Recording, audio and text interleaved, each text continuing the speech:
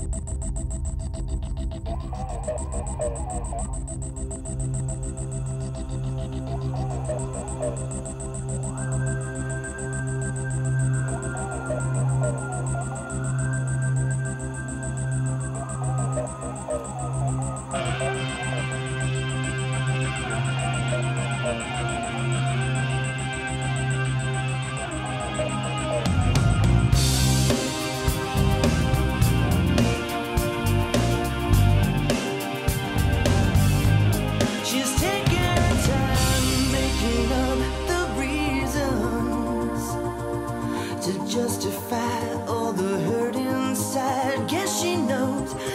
Smiles and the look in their eyes.